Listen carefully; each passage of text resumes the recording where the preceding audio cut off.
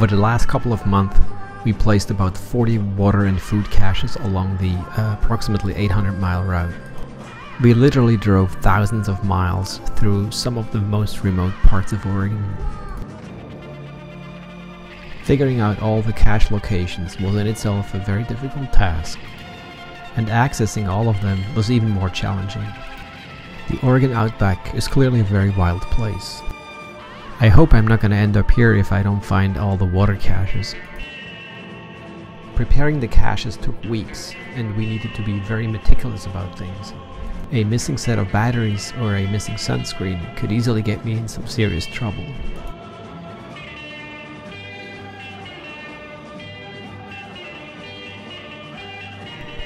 Let's see what's actually in one of these cache bins. Uh, first of all, there's a sturdy bin, three and a half gallon, very solid, and no rodent is gonna go through that. Most of the bins are in the ground. Uh, that will keep them cool as well.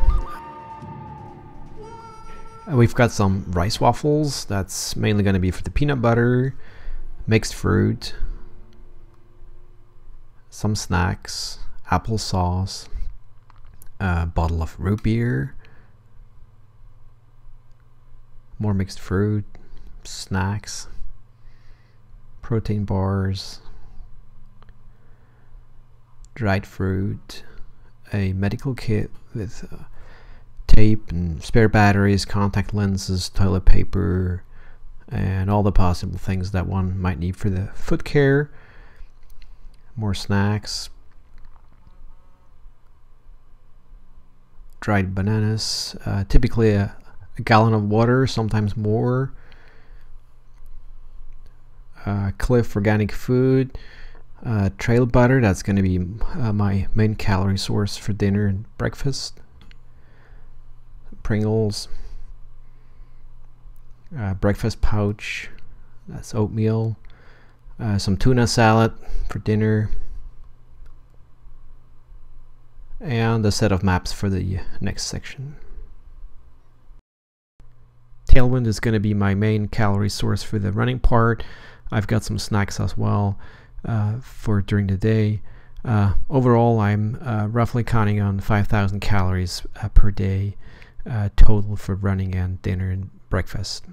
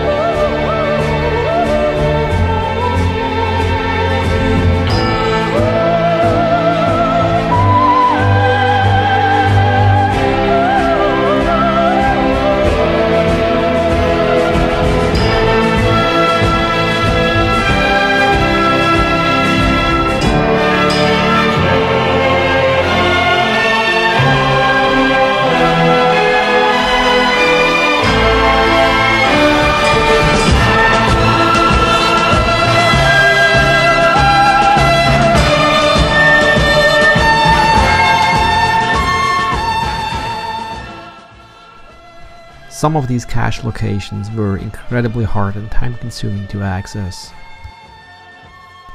But we also got to see some of the most remote and beautiful regions of eastern Oregon. Here we drove up to the Pueblo Mountains to drop some water. Uh, that's a mountain range just south of Fields. We actually had to hike in for the last two miles to drop that water. One of the most surreal and unique experiences was to drive across Alvord Lake, a large dry lake just east of the Steens Mountains. the Owyhee Canyon lands offer another amazing and unique landscape in the Oregon outback. Driving into Leslie Gulch is pretty amazing. Unfortunately, a large part got burned in a recent wildfire.